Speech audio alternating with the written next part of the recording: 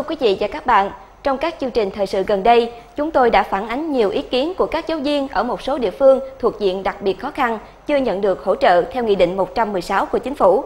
Mong muốn của họ lúc này là tỉnh phải xác định được nguyên nhân vì sao dẫn đến sự chậm trễ trên và có giải pháp khắc phục như thế nào. Thực tế đó, tiết mục đối thoại với cử tri ngày hôm nay, chúng tôi có mời đến trường quay ông Đồng Văn Thanh, Phó Chủ tịch Ủy ban Nhân dân tỉnh Hậu Giang. Thay mặt những người thực hiện chương trình, chúng tôi xin được cảm ơn ông đã tham dự chương trình ngày hôm nay. Và trước khi bắt đầu vào cuộc trao đổi của chúng ta ngày hôm nay, à, chúng ta hãy cùng xem lại một số thông tin về những thông tin xung quanh việc thực hiện Nghị định 116 của tỉnh Hậu Giang mà chúng tôi vừa tổng hợp trong chiều nay. Theo thống kê của Sở Tài chính, Hậu Giang có gần 1.500 đối tượng được hưởng theo Nghị định 116, trong đó ngành giáo dục có 930 đối tượng. Qua tổng hợp, Ủy ban dân tỉnh đã trình Trung ương hỗ trợ nguồn kinh phí qua hai đợt với số tiền hơn 133 tỷ đồng. Qua thẩm định, Trung ương đã cấp kinh phí hai đợt cho Hậu Giang với số tiền gần 105 tỷ đồng. Hiện nguồn kinh phí đã được chuyển về địa phương, nhưng quá trình việc thực hiện chi trả vẫn còn chậm, đã gây bức xúc cho các đối tượng. Thưa ông, dẫn chứng nội dung trên thì tôi xin được chuyển đến ông ý kiến của một đại diện của một giáo viên ở trường tiểu học Nguyễn Trung Trực, huyện Châu Thành A. Tôi xin được trích lược ý kiến như sau. Sau khi lên Sở Tài chính rồi về Phòng Tài chính quyện và gặp lãnh đạo kể cả Phòng Giáo dục và các ban ngành, những nội dung có liên quan đến Nghị định 116 chưa có một cơ quan nào trả lời thỏa đáng cho chúng tôi vì sao đơn vị chúng tôi không được lãnh trong đợt này. Như ý kiến trên thì tôi xin phép được hỏi ông thì vì sao xảy ra việc chậm trễ này? À, xin à, chào khán giả. Nghị định 116 của Chính phủ có hiệu lực thi hành vào tháng 10 năm 2011.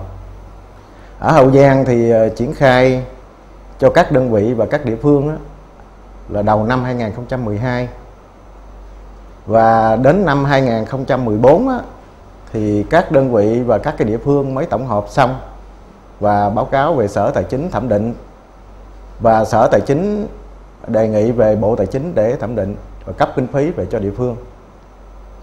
Và đến tháng 10 năm 2014 đó, thì à, Bộ Tài chính mới thẩm định và cấp kinh phí về cho địa phương đợt 1. À, đến à, tháng 4 năm 2015 thì à, Sở Tài chính mới cấp đợt 1 về cho địa phương và cho đến hiện nay á, thì à, đợt 2 thì Bộ Tài chính mới tiếp tục thẩm định và chuyển về cho địa phương thì phải nói là quá trình từ năm 2011 cho đến năm 2015 thì cái việc thực hiện nghị định 116 á, thì cái người được thụ hưởng về chính sách này mới được hưởng thì phải nói là quá trình đó nó rất là dài và cũng công nhận là nó có sự chậm trễ. Những cái chậm trễ này á, thì ờ, chúng tôi cũng đã tổ chức cái cuộc họp các cái sở ngành có liên quan và các cái địa phương và đánh giá nó có mấy cái nguyên nhân. Cái nguyên nhân thứ nhất á, là cái khâu triển khai và hướng dẫn của chúng ta là chưa có được chặt chẽ và có những cái là chúng ta thiếu cụ thể. Cho nên dẫn đến cái trường hợp á, là các ngành tự triển khai với nhau. Và cái đối tượng thực hiện cái chính sách và cái đối tượng thụ hưởng họ cũng không nắm vững được. Thậm chí có những cái họ làm sai và sai rất nhiều lần. Cho nên nó kéo dài. Như nãy tôi nói là đến năm 2014 là mới tổng hợp gửi về sở tài chính được cái nguyên nhân thứ hai á, là cái việc phối hợp chỗ của sắc sở ngành và các cái địa phương. Thì phải nói là thiếu thông tin thường xuyên với nhau. Nhiều cái việc ở địa phương mà cái người được thụ hưởng và cái người tổng hợp hướng dẫn cho các cái đối tượng khai á, thì cũng không nắm vững hiểu không rõ ràng. Cho nên nó là cứ chần chờ có những trường hợp ở đây tôi nêu ra cái thí dụ như là một cán bộ mà hưởng lương ở cấp trên, được cấp trên phân công điều động xuống một cái đơn vị ở vùng khó khăn. Thay vì là số cán bộ này sẽ được hưởng về cái chính sách này, nhưng mà ở dưới cứ chần chờ không báo cáo về trên và cũng không thông tin với lại cái ngành dọc của mình. Cho nên cứ chần chờ kéo dài. Hoặc là có những trường hợp giáo viên ở cái điểm chính được phân công đi dạy ở các cái điểm phụ một tuần được khoảng 2 giờ, thì cái đó cũng không biết là cái cách giải quyết như thế nào. Cũng chần chờ đó mà cũng không báo cáo về cho các cái cơ quan ngành dọc của mình hoặc là cái cơ quan hướng dẫn cho mình thực hiện cái, thực hiện cái chính sách này. Cái thứ ba là cái việc kiểm tra uống nắng cái tình hình đó thì mặc dù là thay vì kéo dài thời gian cho mấy năm như vậy, nếu mà thấy rằng ở các địa phương tại sao mà chậm trễ trong cái việc tổng hợp báo cáo hoặc là sai nhiều như thế mà chúng ta không tổ chức cái cuộc họp để chúng ta nghe báo cáo lại cái tình hình đó như thế nào. Để có chỉ đạo uống nắng tiếp. Nhưng mà chúng ta cũng không làm được cái vấn đề đó. Hoặc là chúng ta cụ thể chúng ta thực hiện cái nhiệm vụ kiểm tra. Ở các đơn vị đó thì chúng ta cũng không làm cái vấn đề đó. Cho nên nó cũng kéo dài cái đó. Cái thứ tư á, là một số cái địa bàn mà chúng ta thực hiện cái phân dạch địa giới hành chính à, chia tách các cái địa phương hoặc là thành lập các cái địa phương mới thì các cái ấp được hưởng cái cái cái cái chính sách theo nghị định 116 này á, chuyển đổi sang một cái địa phương khác á, thì à, chúng ta phải phải hỏi về trung ương. Thì các cái bộ ngành trung ương á, chúng tôi cũng đã gửi lâu nhưng mà các bộ ngành trung ương cũng chậm trả lời. Cho nên những cái khoản tiền đó ở nếu mà ở cái đối tượng ở cái nơi đó thì cũng chưa được phát cái đó. Cho nên mấy cái đó là mấy cái nguyên nhân mà nó kéo dài cái sự chậm trễ. Dân, thưa ông thì như những gì ông trình bày thì thực chất việc chi trả chậm này có một phần lỗi do thẩm định hồ sơ.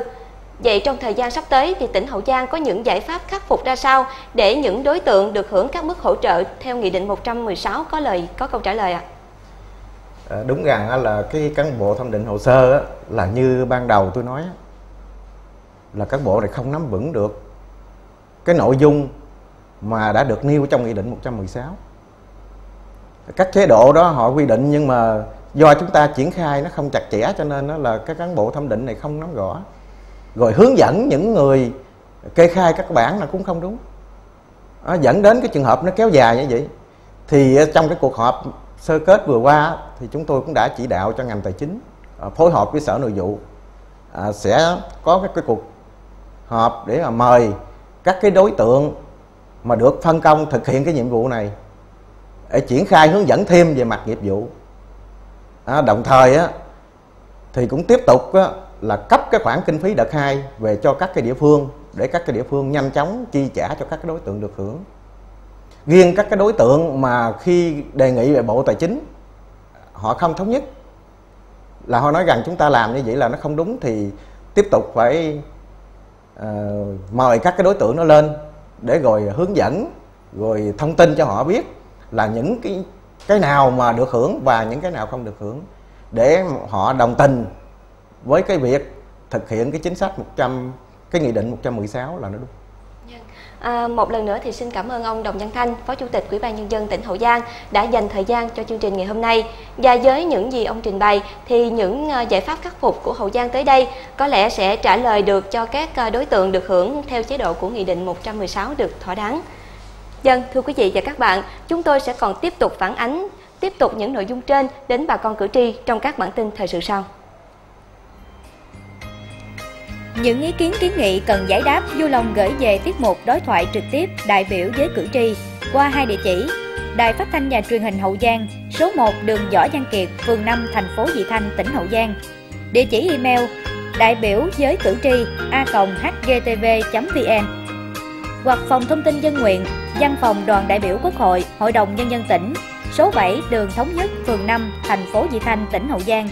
Đường dây nóng 07113 504 987. Tiết mục đại biểu với cử tri được phát sóng trong chương trình thời sự trực tiếp lúc 19 giờ 45 phút ngày thứ năm hàng tuần và được đăng tải trên website của truyền hình Hậu Giang tại các địa chỉ www.truyền hình hậu giang.vn hoặc www.hgtv.vn